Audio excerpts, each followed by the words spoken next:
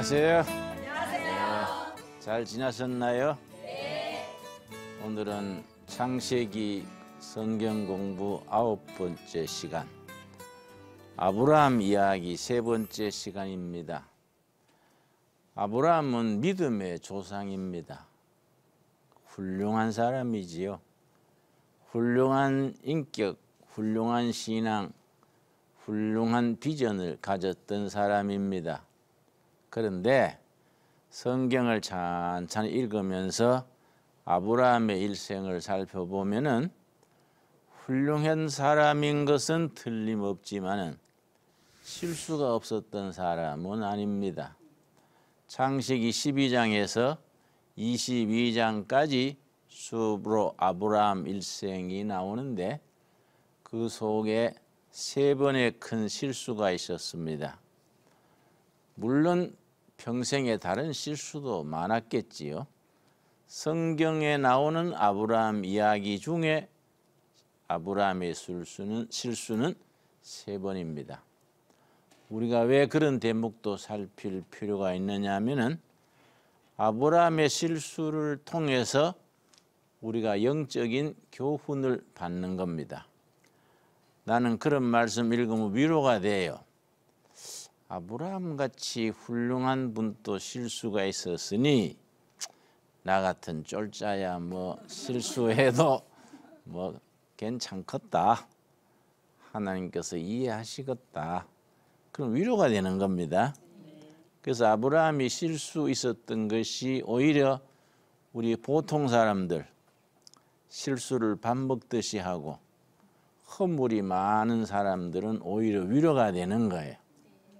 그러면서 우리가 아브라함과 같은 실수를 되풀이하지 않도록 마음에 다짐을 하는 겁니다. 세 번의 실수가 있다 그랬는데 두 번은 창세기 12장에 나오고 세 번째는 창세기 16장에 나옵니다. 첫 번째 실수는 창세기 12장 1절에서 하란 땅에 살던 아브라함을 하나님이 불러냈습니다. 네 본토 친척 아비 집을 떠나서 내가 너게 지시할 땅으로 가라. 근데 성경 말씀에 보면은 아브라함이 순종하여 나이 75세 노인이 순종하여 떠났습니다. 훌륭하지요. 살 만큼 살았는데 75년 살았던 기반을 다 떨치고 순종해서 나간다는 것은 쉬운 일이 아닙니다. 그래서 아브라함의 신앙을 순종하는 신앙 그렇게도 부릅니다. 그런데 아브라함이 한 가지 오해를 했던 것 같아요.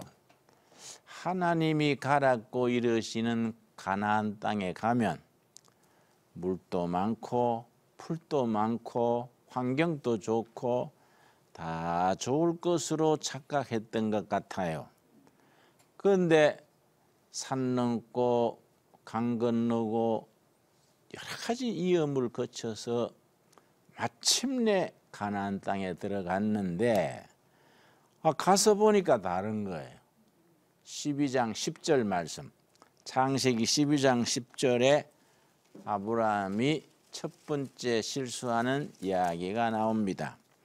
그 땅에 기근이 있으므로 아브라함이 애굽에 우거하려 하여 그리로 내려갔으니 아, 굉장히 기대를 하고 갔는데 아, 가서 보니까 가뭄이 심한 거예요. 뭐 짐승이 마실 물이 없는 건 뭐 말할 것 없고 사람이 마실 물조차 부족한 겁니다. 가뭄이 너무 심하니까 아브라함이 야 이거 생각하고 다르잖냐 아, 물 좋고 풀 좋고 다 좋을 줄 알고 왔는데 막상 와 보니까 기근이 심해서 살아가기가 너무 힘드는 겁니다. 그러면은 하나님이 가라 하셨으니 열심히 인내하고 살면 좋은 때가 오겠지. 참고 살았어야 되는데 아브라함이 일시적으로 방편을 생각해서 애굽으로 내려간 겁니다. 그 자리에서 견뎌셔야 되는데 우리 지금 신앙생활에도 그렇습니다. 어려움을 거치고 순종하고 교회를 잘 받들어서 성령 충만한 은혜 받고 믿음이 자라면은 좋은 일이 있겠지 이런 생각하기 쉽지요. 그런데 열심히 기도하고 순종하고 섬기고 해서 어려운 고비를 다 넘겨서 은혜를 받았는데 아이 막상 은혜를 받고 나니 계속 좋은 일이 있을 줄 알았는데 옛날에 없던 시험이 더 닥치는 거예요. 본래 그렇습니다. 초신자 때는 초신자가 감당할 시험이 오고 집사 때는 또 집사가 감당할 만큼 시험이 오고 장로님이나 목사님이 되면은 더 큰 시험이 오는 거예요. 더 큰 시험을 넘어서면 더 큰 은혜가 오는 거인데 아브라함이 그걸 못 견뎠습니다. 애굽으로 내려간 거지요. 이사야서 31장 1절에 보면은 애굽으로 가는 것에 대해서 영적 비유가 있습니다. 애굽으로 가는 것은 세상적인 것을 찾아 세상적으로 타협하러 가는 거다. 하나님을 의지하고 영적인 길을 찾아가는 게 아니라 세상적인 수단, 방법, 세상 것을 쫓아가는 것이다. 이사야 31장 1절의 말씀입니다. 그 아브라함이 애굽으로 잘못 선택해서 내려갔는데 내려가면서 두 번째 실수를 한 겁니다. 사람이 한 번 단추를 잘못 끼면은 계속 자, 잘못되지요. 한번 사람이 허물을 범하고 빗나가기 시작하면은 이게 자꾸 자꾸 계속되는 거지요. 아브라함이 무슨 문제가 있었느냐? 아내가 아주 미녀였어요. 미스 이스라엘쯤 된 겁니다.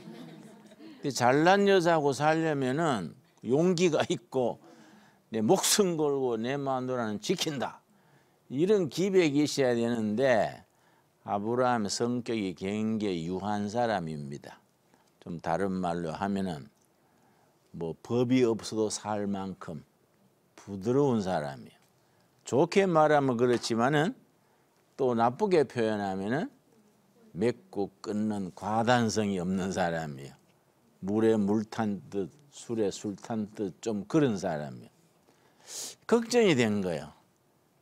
내가 애굽으로 가는데 애국 남, 남자들은 욕심이 많고 거기는 법도 안 지켜지고 힘 있는 사람이 그거는 다스리는 사회라는데 이 마누라가 인물이 좋으니 이 마누라 인물 때문에 나를 해코지하고 마누라 뺏어갈지 모르겠다. 갔다 가면 잘난 마누라고 살다가 내 목숨까지 잃을 줄 모르겠다. 이런 걱정이 생긴 거예요. 사실은 하나님 의지하고 가면은 하나님이 지켜주실 줄 믿습니다. 이런 믿음 가지고 가야 되는데 인간적인 걱정이 된 거예요.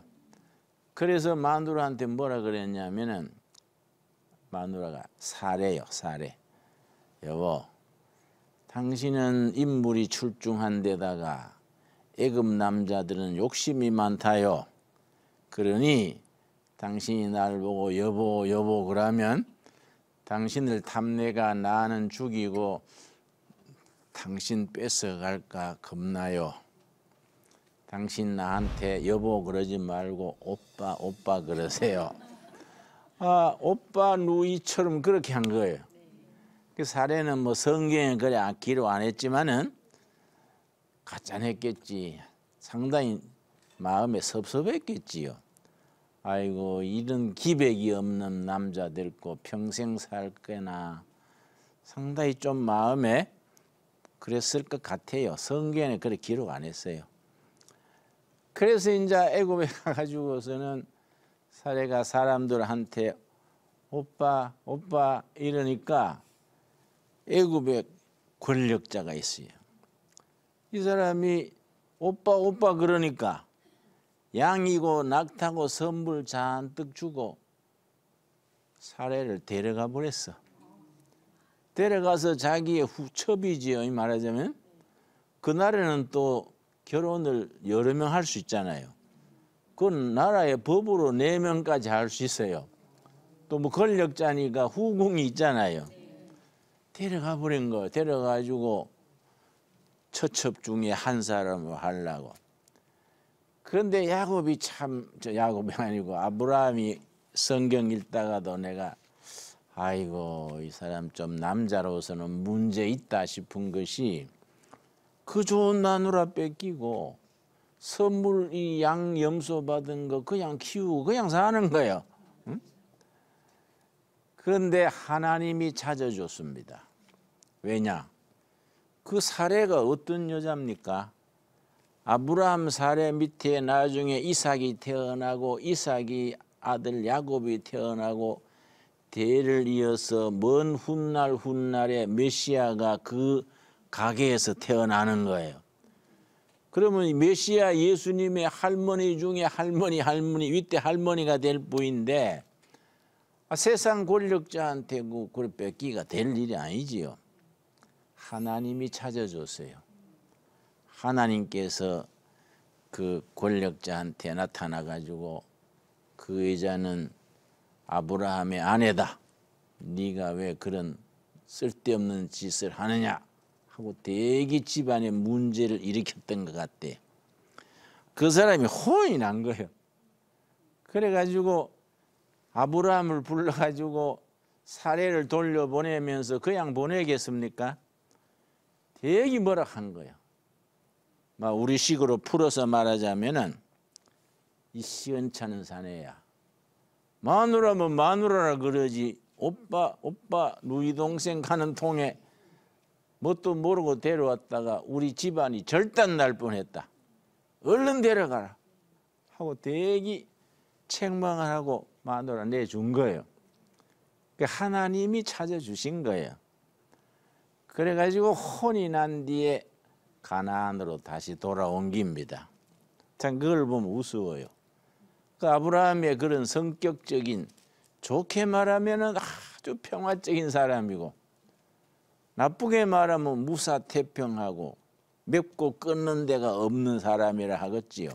그러나 성경에 여러 가지 형태의 사람이 있는데 베드로 같이 성질 급한 사람, 바울 같이 아주 뭐 빈틈없는 사람, 모세같이 또 탁월한 사람 여러 성격이 있지만은 문제는 뭐냐? 사람마다 장점도 있고 단점도 있지요. 있는 그대로 하나님께 바치면 되는 거예요. 바치면 하나님이 좋은 점은 더 북돋아 쓰시고 나쁜 점은 보충해서 쓰시고 있는 그대로 바치면 하나님이 알아서 쓰시는 겁니다. 자, 세 번째 실수가 창세기 16장 1절입니다. 창세기 16장 1절.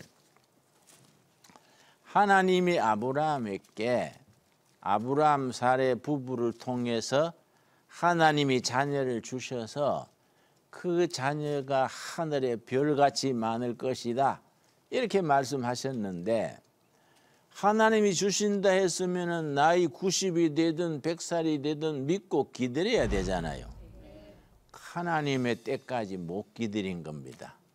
사람에 급해져 가지고 아브라함 부부가 실수를 했습니다. 큰 실수지요. 먼저 부인이 먼저 말을 건넨 거예요. 왜냐? 부인이 자기 시집 와가지고 남편이 자기를 그래 사랑해 주지만은 아들을 못 낳아주니 부인으로서는 부담됐던 것 같아요. 그래서 부인이 아브라함 남편한테 뭐라 하느냐 하면은 16장 1절입니다. 아브라함의 아내 사례는 생산치 못하였고 그에 끼한 여종이 있으니 애굽 사람이요 이름은 하갈이라 그 부인의 말하자면 심부름하는 여자 하녀가 있은 거예요. 그 하녀를 남편한테 뭐라 그랬냐면은 2절 사례가 아브라함에게 이르되 여호와께서 나의 생산을 허락지 아니하셨으니 원컨대 나의 여종과 동침하라. 내가 혹 그로 말미암아 자녀를 얻을까 하노라 하매 아브라함이 사례의 말을 들으니라. 사실은 아내 입장에서 미안했겠지요. 그때 그 참 아들이 얼마나 소중합니까? 평생 쌓은 걸 다 물러줄 대를 이어갈 아들이 중요하지요. 그러니까 사례가 부담이 됐겠지요. 하나님은 약속하셨지만은 내가 출산을 못하니 내 대신 내 하녀 하가라하고 한번 동침하세요. 혹시 하나님이 아들을 주시면 대를 이읍시다. 그걸 뭐라 그러냐? 닭 대신 꽁이라 그러지요. 부인 사례는 미안한 마음에 그러지요. 그럼 부부가 한 사람이 시험 들면 아브라함 남편이라도 여보 당신 시험 들었구만 하나님이 우리한테 약속하셨으면 80이든 90이든 기다려야지 하나님에 대한 믿음이 흔들렸구만 시험 들지 맙시다 이래야 되잖아요 그런데 아브라함이 안 그랬어 또 남자 마음에 또 은근히 좋았는지도 모르겠어 그거는 이제 성경에 그런 말은 없어요 우리 짐작에 그래 하면 당신 섭섭지 않을까? 뭐 그런 얘기가 있을 수 있지. 아 그래서 하갈하고 동침을 했는데 아들이 난 거예요. 그 아들이 이스마엘이라. 이스마엘 많이 들으셨지요? 이 문제가 된 게요. 몇십 년간 문제가 아니고 몇 천 년간 지금까지 문제가 된 겁니다. 왜냐? 이스마엘의 후손이 지금 아랍 민족이에요. 뭐 이란, 이락, 사우디 이런 나라들이 이스마엘 후손이 아랍 민족. 그런데 이스라엘 민족의 조상은 누구겠습니까? 그 뒤에 백세 얻은 아들 이삭이요. 근데 이스마엘 낳을 때는 86세라. 그럼 몇 년 앞질렀습니까? 14년을 앞지른 거예요. 하나님의 약속을 끝까지 기다려야 되는데 사람의 조바심에 하나님의 약속을 앞지른 거예요. 그래서 100세까지 가야 하나님의 때인데 86세 그때 아내의 말을 듣고 하갈과 동침해서 아들을 낳긴 낳았는데 잘못된 선택이지요. 영적인 지도자가 한 가정의 호주가 한 기업의 대표나 한 큰 교회 목사님이 선택을 한분 잘못하면 그 책임이 대대로 내려가는 거예요. 아브라함이 하나님의 때가 아닌데 사람의 생각으로 인기응변으로 하가를 택했다가 이스마엘을 낳았어. 이스마엘 후손들이 지금 아랍 민족에 대해서 지금도 싸우고 있잖아요. 지금도 이스라엘 사람들과 아람 사람들은 지금도 싸우지요. 그러니까 참 아주 심각한 본문이요. 그냥 아브라함의 실세 중에 천추의 한을 남긴 실수를 하겠지요. 그래 우리가 예수님이 누가복음 22장 보면은 시험에 들지 않게 기도해라. 유혹에 들지 않게 기도해라. 기도만이 우리를 그런 시험에서 건질 수 있고 예방할 수 있는 거지요. 그러나 아브라함이 그런 세 가지 시험이 있다 그래서 아브라함의 신앙이나 인격이 통째로 흔들린 건 아니란 말이에요. 역시 믿음의 조상으로서 뛰어난 참 탁월한 성격을 지니고 있는 사람이었습니다. 자, 아브라함이 창세기 12장에서 하란 땅을 날때 같이 갔던 사람이 있습니다. 조카 롯이 같이 갔어요. 성경 말씀 기억나지요? 그런데 이 문제는 뭐냐? 아브라함은 하나님의 음성을 직접 듣고 간 거예요. 하나님과 아브라함 사이에 영적 체험, 확신이 있는 거예요. 조카는 하나님을 직접 만난 게 아니고 삼촌 조카 보고 간 거예요. 사람을 보고 간 거예요. 지금도 그렇잖아요. 교회 다닐 때 하나님의 은혜를 찾아서 본질을 찾아서 교회 나가는 사람하고 사람 보고 나갔던 사람하고 나중에 다르잖아요. 그러니까 이건 문제가 생긴 겁니다. 조카가 삼촌 얼굴 보고 같이 따라 나갔는데 뒤에 이 문제가 생겼어요. 가나안 땅을 향해서 삼촌 아브라함 식구들하고 조카 롯의 식구들이 이제 가나안 땅으로 옮기면서 옮기면서 가는데 뭐의 문제냐? 땅은 좁고 풀은 적고 물은 적은데 삼촌 조카 양쪽 집안에 양떼 소떼가 있으니까 삼촌 조카 사이는 괜찮은데 머슴들이 싸움이 난 거야. 서로 풀 먼저 먹일라 그러고 서로 물 먼저 먹일라 그러고 안 그렇겠습니까? 그런데 머슴들 사이에 싸움이 나니까 아이 싸움이 어른 싸움 난다 그러지요? 그러니까 삼촌 조카 사이도 서먹서먹해진 거예요. 그런데 아브라함이 참 훌륭해요.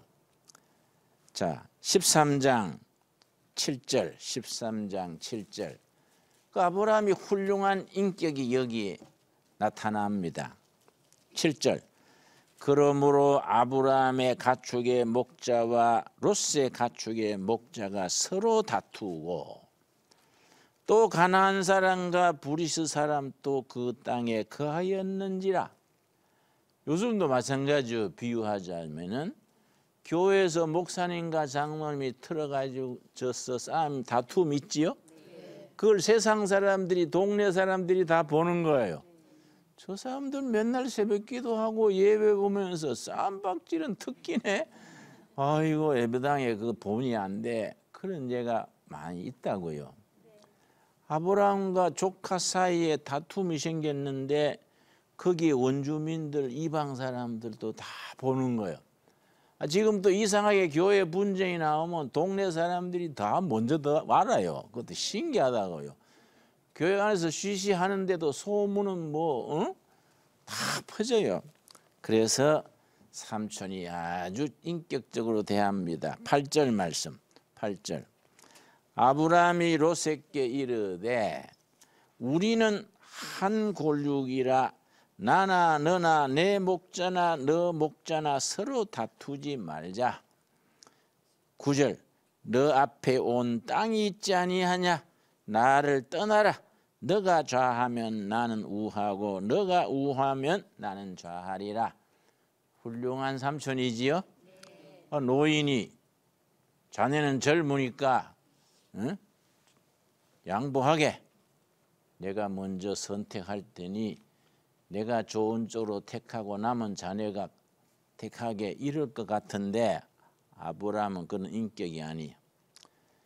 조카가 좌하면 나는 우하고 조카가 오른쪽이면 나는 왼쪽으로 갈 테니 조카가 먼저 정하소 이랬단 말이에요. 그런데 동쪽과 서쪽이 있는데 동쪽은 물이 많고 풀이 많아. 서쪽은 아주 메마르고 토박한 데라. 아, 삼 조카가 철이 없어요. 이래 보니까 동쪽이 물 많고 풀 많거든. 삼촌, 내가 동쪽으로 갈라요. 창세기 13장인데. 그래서 조카가 택하고 나니 삼촌은 어쩔 수 없지요. 서쪽에 아주 메마르고 토박한데 개척하기 어려운데 그리 간 거예요. 그런데 하나님께서는 그런 마음을 아주 귀하게 보셨어요. 자, 13장 14절. 나쁜 조건 양보하고 안 좋은 데 택하는 아브라함을 기이 보시고 조카가 떠나고 난 뒤에 서쪽에 아주 나쁜 조건에 간 아브라함을 하나님이 복 주시는 겁니다. 14절이죠. 롯이 아브라함을 떠난 후에 어떤 쪽으로 떠났다고요? 동쪽으로. 그 동쪽이 어디냐면 소동 고무라성이 있는데요. 떠난 후에 여호와께서 아브라함에게 이르시되 너는 너는 눈을 들어 너 있는 곳에 동서남북을 바라보라 보이는 땅을 내가 너와 너 자손에게 주리니 영원하리로다 하나님께서 서쪽에 아주 메마른 땅에 개척자로 간 아브라함을 축복하시는 거야. 네가 눈에 보이는 땅 너와 너 자손에게 주리라 그랬는데 아 서쪽 땅에 물 많다고 조카 그리 같지요? 물이 많고 풀이 많으면 사람이 모이지요. 사람이 모이면은 도시가 생기지요. 도시가 생기면 사람들의 욕심이 나지요. 그게 소돔 고모라성이야 그쪽이. 도시가 돼 가지고 서로 싸움이 나 가지고 이 도시 저 도시 전쟁이 나 가지고 조카 로시의 식구들이 전쟁에 그쪽이 다 져버렸어. 그 도시가 졌어요. 몽땅 포로가 돼 가지고 굴비처럼 엮여 가지고 포로로 끌려가는 거야. 그 좋은 데 갔다가 바보처럼 된 거지. 근데 그 중에 머슴 중에 한 사람이 도망을 쳤어. 포로를 안 잡히고 도망을 치고서는 삼촌한테로 왔어요. 와서 아브라함한테 와서 주인 어른 절단 났습니다. 전쟁이 나가지고 우리 주인 몽땅 잡혀서 끌려갔습니다. 그때 아브라함이 잘한 거예요. 이 아브라함이 위대한 점입니다. 창세기 14장 14절 말씀. 조카가 포로로 끌려갔다는 말을 듣고 아브라함이 그 조카의 사로잡혔음을 듣고 집에서 기르고 연습한 자 몇 명이지요? 318인을 거느리고 당까지 쫓아가서 아브라함이 서쪽 땅에 그 메마른 데 가서 참 성견 지면 있고 훌륭했던 것이 사람을 키웠어요. 그 농장에서 일꾼을 키운 겁니다. 몇 명을 키웠다고요? 318명. 길고 연습한 자. 성경 읽을 때 이런 구절을 잘 깊이 묵상해야 됩니다.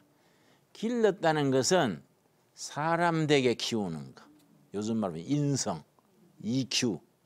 연습했다는 것은 기술, 전문성 이런 농사 짓는 법, 전쟁하는 법, 양치는 법. 양치는 것도 양털 깎는 거 뭐 이런 거 다 기술이잖아요. 집에서 길러오는 부모가 자식 키우듯이 목회자가 교인 키우듯이 영적으로 인간적으로 바로 되도록 키우는 거예요. 영성을 키우는 거예요. 연습했다는 말은 전문성이야. 요즘 말하는 프로페셔널리즘. 이 양쪽으로 318명을 길렀습니다. 왜냐? 혹시 주위에 어려운 일이 있거나 낭패한 일이 있으면은 그 군대로 동원하려고. 아 그렇게 했는데 조카가 사로잡혔다는 말을 듣고 집에서 기르고 연습한 자 318사람을 데리고 밤중에 뒤쫓아가서 그 사람들은 전쟁에 이겼다고 뭐 다 포로들은 옆에 묶어놓고 부어라 마셔라 놓을 거 아니에요. 그 아브라함이 기습을 한 거야. 요즘 말하면 게리라 작전이라. 기습을 해가지고 몽땅 다 포로 찾아내고 그 사람들이 뺏어갔던 재물도 다 찾고 해방시킨 거지요. 이게 정말 우리 시대의 교회가 해야 될 일입니다. 정말 억눌린 사람, 억울한 사람, 교회가 기른 일꾼들이 봉사자가 돼 가지고 그들을 돕고 그들을 구해 줄 수 있는 그 교회의 사명이지요. 자, 그래서 아브라함이 돌아오는데 멜기세덱이라는 제사장이 하늘에서 떨어진 듯이 멜기세덱이 축복을 해주고 아브라함은 거기에다가 11전금을 바친 거예요. 그 멜기세덱이 나, 누구의 그림자냐? 나중에 나타날 진짜 대제사장 예수님의 그림자라 그랬어요. 그 멜기세덱이 예수님의 그림자. 본체는 예수님, 진짜 제사장 예수님. 멜기세덱 아브라함을 축복해 준 멜기세덱은 그림자라 그랬습니다. 자, 창세기 22장이 아브라함 이야기의 최고의 요점입니다. 창세기 22장. 22장 앞에 21장 33절 말씀에 아브라함의 특별한 얘기가 나와요. 아브라함이 도토리 나무, 나무 한 그루 심은 얘기가 거기에 나와요. 큰애가 이상하다. 아, 창세기 12장에서 22장까지 아브라함 이야기에서 평생에 글 쓰는데 쓸기 좋은 많습니까? 나무 한 그루 심은 얘기가 나와요. 창식 21장 10, 33절 말씀. 아브라함은 부엘세바에 에셀나무를 심고 거기서 영생하시는 하나님 여호와의 이름을 불렀으며 에셀나무는 우리말 나무 도토리나무 아브라함이 도토리 나무 거기서는 그 상수리 나무 에셀 나무가 신목입니다 신목 거룩한 나무 거기서 제사 지내고 제단 쌓고 결혼식도 그 나무 밑에서 하고 그럽니다 나무 심은 얘기가 나와요. 마침 우리 교회도 산 속에 있기 때문에 우리 동대촌 동두천 산속 숲에 있어요. 어제 우리가 온 교인이 나무 심었습니다. 나무 심을 때 내가 이 아브라함이 에셀 나무 심었던 얘기 읽으면서 나무 심는 생명을 심는 거이고 희망을 심는 거이고 꿈을 심는 거이다. 그냥 그 나무 하나 꼽아 넣는 게 아니다. 우리가 아브라함 때부터 지금까지 나무를 심는다는 그 영적 의미가 희망을 심고 미래를 심고 꿈을 심는 거 아니겠습니까? 창세기 22장에 그 유명한 아브라함의 시험이 나옵니다. 백세의 아들을 얻었잖아요. 이 아들이 이삭인데 어, 아들이 열 몇 살 됐을 때 하나님께서 느닷없이 네 아들을 번제로 바쳐라. 아이 야단 난 거야. 뭐 신학교 보내라, 선교사로 보내라 이러면 얼른 보낼 수 있지만은 번제로 드리라는 거는 죽여야 되거든요. 죽여서 피를 땅에 쏟고 각을 다 떼서 장작 위에다가 얹어서 불태우는 거란 번제가 백세 낳은 아들을 번제로 바치라는 거예요. 얼마나 이 참 끔찍한 시험입니까? 22장 1절입니다. 그 일 후에 하나님이 아브라함을 시험하시려고 그를 부르시되 아브라함아 하시니 그가 가로되 내가 여기 있나이다. 여호와께서 가라사대 너 아들 너 사랑하는 독자 이삭을 데리고 모리아 땅으로 가서 내가 너게 지시하는 한 산 거기서 그를 번제로 드리라. 아, 참 이상한 시험이지요. 우리 성도들도 살아가는 동안에 시험이 두 가지가 있습니다. 성경상으로 첫 번째 시험은 하늘로부터 오는 시험이에요. 하나님이 우리를 시험하시는 겁니다. 바로 아브라함에게 백세에 얻은 아들 이삭을 바쳐라. 하나님이 주시는 시험이요. 이 시험을 어떻게 해야 되느냐? 순종하면은 예비하신 축복이 기다리는 거예요. 두 번째 시험은 우리 인간의 혈기, 정욕, 사람의 욕심으로 오는 시험입니다. 이 시험은 회개해야 돼요. 회개하면 시험이 거두어지는 겁니다. 중요한 얘기입니다. 사람에게 시험이 두 가지가 있다. 첫째는 하늘로부터 오는 시험이다. 하나님이 주시는 시험. 이건 어떻게 해야 된다고요? 순종하면은 예비하신 축복이 오지요. 두 번째 시험은 사람으로부터 오는 시험. 땅으로부터는 시험, 욕심, 혈기, 정욕 이런 시험은 어떻게 해야 된다고요? 회개하면은 거두어지는 겁니다. 아, 아브라함한테 백세 얻은 아들 이삭을 모리아 산에 가서 바쳐라. 아브라함이 살던 데서 사흘 길이요. 모리아 산이. 여러분 성지순례 한번 가보셨나요? 언제 한번 가보세요. 모리아 산 꼭대기에 아브라함이 이삭을 바치려던 자리에 기념교회가 써 있어요. 기념교회. 거기서 아침에 일찍 일어나 3절이요. 하나님께서 아브라함한테 아들을 바치라 하이 잠 한숨 잤겠습니까? 잠 한숨 못 잤겠지. 그런데도 무조건 새벽에 일어나서 준비해서 가는 거예요. 그래서 아브라함의 신앙을 순종하는 신앙.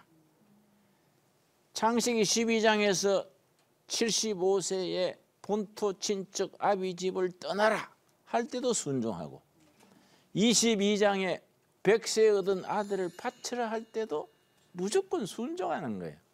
순종하는 신앙. 그 떠났는데 자 12절 말씀 모리아산 꼭대기에 가가지고 아들을 번제로 바치려고 아들을 먼저 죽여야 되잖아요. 그럼 뭐 그거 노인이 아들이 뭐 막 반항하면 어렵겠지요? 묶은 거야. 손발을 묶고 칼을 갖다 대려 했는데 하나님의 사자가 딱 멈추게 하시는 겁니다. 12절. 사자가 가라사대 그 아이에게 너 손을 대지 말라. 아무 일도 그에게 하지 말라. 너가 너 아들 독자라도 내게 아끼지 아니하였으니 내가 이제야 너가 하나님을 경외하는 줄을 아노라. 이제야 알겠다. 시험에 통과된 거야. 응? 공부하는 사람 같으면 박사학위 통과된 거야. 완전히 시험 통과된 거야. 하나님이 아브라함의 순종하는 믿음의 정도를 알아보시려고 시험을 하신 겁니다. 그만둬라. 그 아들을 살려라. 이제야 내가 알겠다. 여러분 인생살이가 우여곡절이 많지 않습니까? 인생이 뭐 산 넘고 들 건너 장애물 넘으면 또 장애물 오고 늘 그렇잖아요. 그러나 마지막까지 시험에 잘 통과되기를 바랍니다. 그래서 하나님이 여러분한테 이제는 됐다. 내가 이제 복줄 차례다. 그렇게 그런 영적인 자리에 나갈 수 있기를 바랍니다. 자, 13절 14절이 중요해요. 13절 14절. 아브라함이 눈을 들어 살펴본 적 수양이 뒤에 있는데 뿌리 수풀에 걸렸는지라 아브라함이 가서 그 수양을 가져다가 아들을 대신하여 번제로 드렸더라. 요 13절이 굉장히 중요합니다. 이 속에 복음이 들어있는 거예요. 왜냐? 하나님이 준비해 놨어. 하나님이 이삭을 죽이지 말라 하고 보니까 수풀에 뿌리 걸린 수양이 준비되어 있는 거예요. 수양을 가지고 아들 대신에 제물로 드린 거예요. 아들을 대신하여. 대신하여 그 자리에 자기 이름을 넣으대요. 김진홍이 죽어야 되는데 김진홍을 대신하여 누가 죽었습니까? 예수님이 죽었지요. 그래서 창세기 22장 13절에 아들을 대신하여 죽은 수양이 뭘 나타내느냐? 우리 대신하여 죽으신 예수님이 상징이라 상징. 그림자라. 근데 수풀에 뿌리 걸린 수양이 준비되어 있었지요? 그래서 하나님이 준비하셨다. 이걸 뭐라 그러느냐? 창세기 14장. 아브라함이 그 땅 이름을 뭡니까? 여호와 이레라. 여호와 이레란 말 많이 들으시지요? 굉장히 중요한 말입니다. 여호와 이레라 하였으므로 오늘까지 사람들이 이르기를 여호와의 산에서 준비되리라. 하나님이 먼저 준비해 놓으셨다. 여호와 이래요. 이삭을 모리아 산에서 바치기 전에 하나님이 수풀에 뿌리 걸린 수양이 준비돼 있었어. 그래서 아들 대신에 그 수양을 번제로 드렸지요? 그럼 수풀에 뿌리 걸린 수양 누구의 그림자라고요? 십자가의 예수님의 그림자. 나무 십자가에 달려 내 대신에 죽은 예수님의 그림자. 아멘이 됩니까? 믿어집니까? 이걸 아멘 하는 것이 복음의 깨달음이요. 이걸 아멘하고 마음에 믿어 입으로 시인하면 구원받는다. 거듭난다. born again 된다. 그렇게 말하는 겁니다. 이해 가지요? 먼저 이 말씀이 신약적으로 복음적으로 이해 가야 돼. 머리로 이해해 가지고 가슴에 닿는 겁니다. 어떤 사람은 시간 차이가 있어요. 읽고 금방 깨닫고 감동의 눈물 흐르는 수도 있고 어떤 사람은 몇십 년 가다가 아 그렇구나. 나는 모태 신앙이에요. 할아버지 때부터 교회 다녔는데 어머니 태에서부터 교회 다녔어요. 그러나 이런 예수님이 내 대신에 죽은 걸 확실히 깨달은 것은 대학을 졸업하고도 2년 뒤에요. 그러니까 1968년 12월 4일 날 내가 신학교 선배하고 대학 선배하고 에베소서를 읽었어요. 에베소를 읽다가 1장 7절 우리가 그리스도 안에서 그 은혜의 풍성함을 따라 그의 피로 말미암아 구속 곧 죄의 사함을 받았느니라. 아, 이 말씀 읽는데 확신이 온 거야. 아, 예수님이 내 대신에 죽으시고 내 죄와 허물, 젊은 날의 방황과 고민 다 해결해 주셨구나. 얼마나 감사한지. 왜냐? 나는 모태 신앙인데 대학교에서 철학을 공부하면서 신앙이 점점 없어진 거예요. 예수님이 무리로 걸어가셨다 그러니까 에이 뭔 자기가 잠수함 이건데 무슨 무리로 걸어가. 아 산에 하늘에서 불이 내려왔다. 그런 게 있잖아요 성경에. 갈멜산 그러니까 에 옛날에 안경 도수가 없어가지고 천둥 번개 치는 거 잘못 바꿨지 철학 공부하면 자꾸 의심만 생기는 거예요. 어릴 때 신앙을 다 까먹었어요. 그래서 교회도 뭐 제대로 안 나가고 토요일 되면 친구들하고 맥주나 마시고 그랬는데 대학 졸업하고 2년 지나서 68년 12월 4일 저녁에 에베소 1장 7다, 7절 읽다가 아 예수님이 십자가에 피 흘리신 것이 내 대신에 내 허물과 죄를 다 해결하려고 죽으셨구나. 그걸 믿으면 구원받는구나. 확실히 깨달은 거예요. 그러니까 얼마나 그날 저녁에 감동했는지 여러분 복음 찬송 중에 내 죄 사함 받고서 예수를 안 뒤에 그 찬송 하시죠? 내 제사함 받고서 예수를 안뒤 나의 모든 것 다 변했네 그 찬송 기억나세요? 네. 내가 그날요 그날 밤에 막 그 찬송가를 또 부르고 또 부르고 감동의 눈물을 흘리면서 불렀어요 아, 예수님이 십자가에 내 대신 죽은 것이 내 허물과 제 젊은 날의 고민도 방황도 다 해결해 주신 거예요 얼마나 감사한지 울면서 불렀습니다.